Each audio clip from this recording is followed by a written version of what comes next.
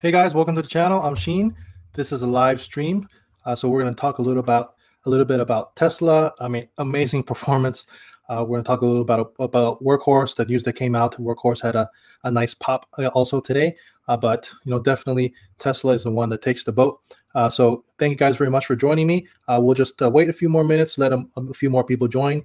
let me see. I think there's a few people in here already. I got I think 12 people in here now and we have a few chats. So uh, let me just look through the chat. Say what's up to everybody. Uh, first person in the chat, Dear Moon, scary Tesla. Should I buy more? Uh, good question. We're going to talk about that. So now we're we're at this point where it's like, oh man, I mean, we're pushing more than all time highs, like the all time of all time of all time highs. So uh, we're going to talk about, you know, what is this, you know, each person's situation is going to be a little bit different. So Tom Fazl, we're gonna we're gonna talk about that. Oh, look at this, Sean HKG owns 750 shares at 7060. Wow, are you serious? That is a, a real OG Tesla shareholder right there. Then a lot, a lot of people are saying, you know, what do I do? Do did I miss out on Tesla? Uh, you know, it's pushing on just crazy, crazy highs, uh, totally separated. So there's two things here. There's Tesla stock, and then there's Tesla the company, and those two things uh, are not running, uh, you know, concurrently right now. And uh, you know, I'm speaking as a Tesla bull. Uh, you know, obviously uh, I, I am I am pro Tesla, but I am fully understanding that the Tesla stocks and the Tesla company are really two different beasts right now. Uh, and so when that happens, uh, you're in a situation where you feel that uh, anytime uh, because because the, the company elon musk and the tesla company and the leadership they do not control the stock. You know the stock has really run off on its own and it, it's an animal in itself. It's it's it's its own beast. So when that happens investors especially retail investors like you and i get stuck in this predicament of you know i'm trying to value the company but now the price of the company is valued five years, six, seven years in advance. So a lot of their technology is being priced in. So what if I get in now and the stock price, you know, takes 30%, 20%, whatever percent dip? Uh, so, you know, I think a lot of people, they, you know, just been asking me, I think the first few people have been asking me in the chat. Let me scroll back up.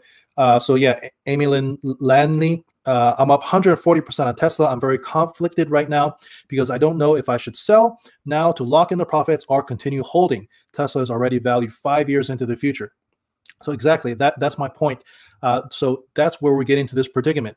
Uh, so uh, uh I'm going to address that predicament, and of course, you have to understand everybody's situation is different. It all depends on number one, your your your tolerance, uh, your your risk tolerance. Number two, what type of account are you holding this in? Are you holding this in at a retirement account?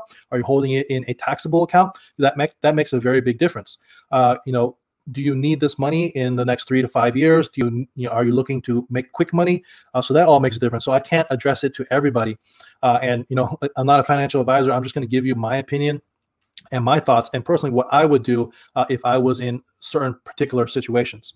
So uh, so we're, we're going to answer that. Uh, but if you haven't yet, smash that thumbs up button. It really helps out the channel. Uh, I have over 5,200 subscribers now. So thank you guys so much. Uh, smash the thumbs up button. Consider subscribing if you haven't yet already. We're doing a giveaway soon. Uh, Tesla short shorts. I ordered, I think 10 pairs. I ordered 10 pairs of Tesla short shorts, uh, five pair medium and five pair larges. Uh, that's all they had at the time.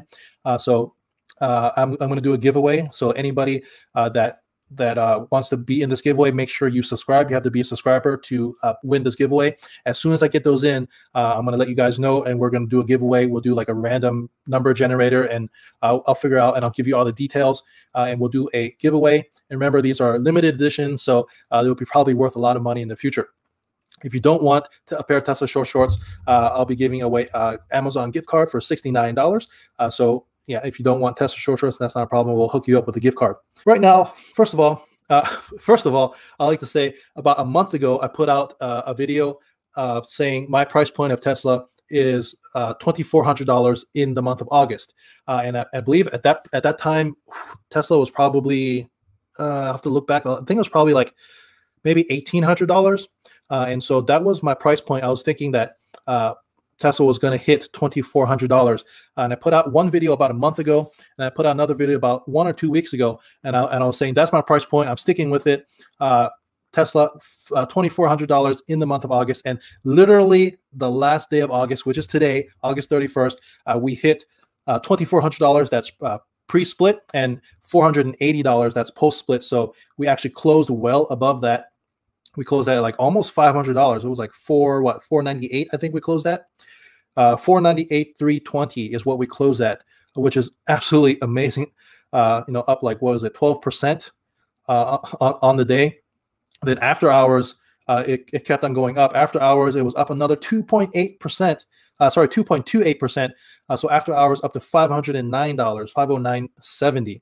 So just absolutely amazing. So now we're we're in this predicament where it is so far from what Tesla's doing because seriously, Tesla has not done anything uh, that no like no news about any new products, any new ramp up. Uh, we all speculate about the battery day, but all that I believe is priced in currently. The battery day news, the million mile battery, uh, the plaid powertrain, all that is priced in. So we're now at a situation where uh, the the price of Tesla now at almost well, over five hundred dollars post split uh, is is is really really going out of control.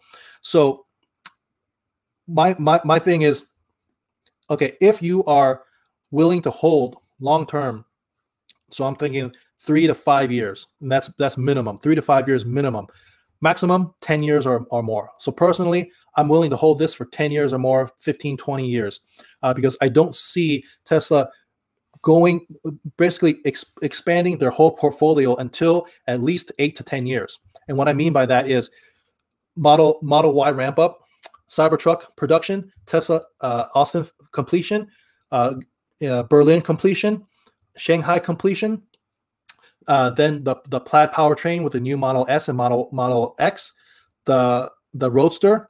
So that's already seven things. Uh, not to mention more uh, more invested into into Tesla Energy with their solar. so now I'm talking about eight, nine, nine things. Robo taxi.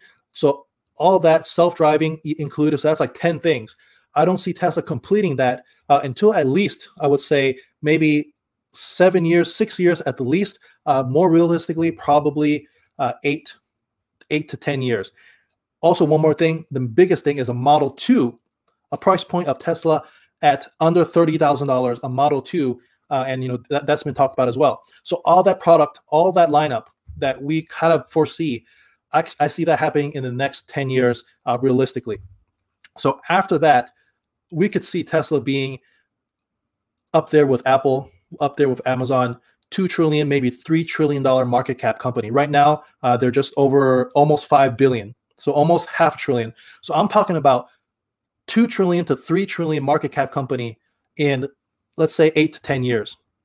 So if you're willing to hold for eight to ten years uh, at the maximum, I think you're going to see massive price appreciation.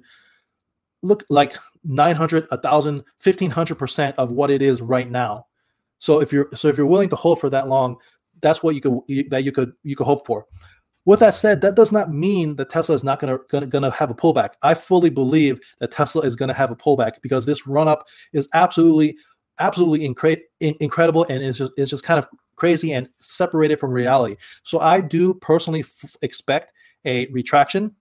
When do i think this retraction is going to happen? After battery day so battery day is coming up in like literally two or two and a half weeks, or was it the 22nd? So like close to three weeks. After battery day, uh, everyone's going to know what they have up their sleeves, what they're what they're going to produce, uh, and we can fully gauge and price in what Tesla's going to do. After that, I think we're going to have a a pullback. I don't know, 10%, 15%. I have no idea. I have no idea what the pullback is going to be. But I think after battery day, we're going to have a, a pullback and Tesla is going to come back down, uh, you know, to kind of on par of what they're going to do in the next three to five years. So their, their price point has been has been has been uh, factored in. So uh, that's what I think. So now if you're if you're gonna if you're gonna hold for you know eight to ten years, I think you just hold and you're gonna see that price appreciation. Talking about a three trillion dollar market cap company. If you don't want to hold for that long, if you only want to hold for three to five years, I mean, I still think you're going to see massive price appreciation even in three to five years because I think there's going to be a pullback.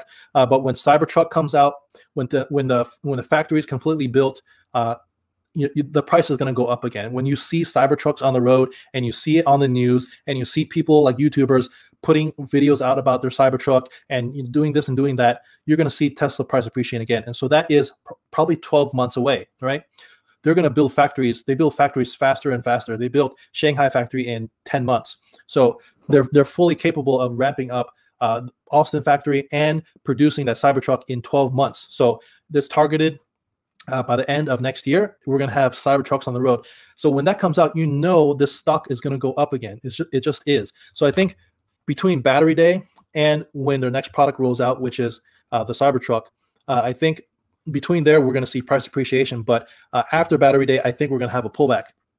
So uh, if you don't, if any, if you if you are only willing to hold this for a few months, if you're if, if you're going to buy in and just think you're going to make some quick money, uh, I would I would advise against that, and that's just my personal opinion.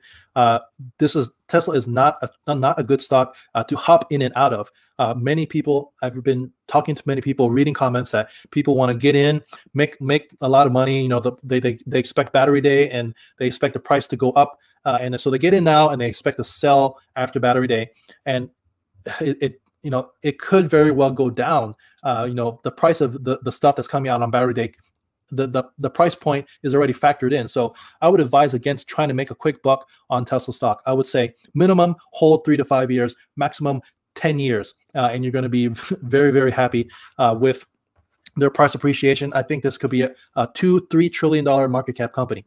Uh, so now uh, the predicament. Uh, so like somebody like Amy Amy Lin uh, so up 140%. And then so now uh, we're getting a little antsy. Should I sell and take my profits?